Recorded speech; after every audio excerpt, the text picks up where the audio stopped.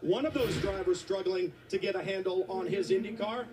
In practice between turn one and two, just got in some dirty air, according to Ryan. The car swapped ends very quickly, made contact with the wall. He was able to climb out unhurt. That was good news and was able to move into a backup car for qualifying. And speaking of qualifying,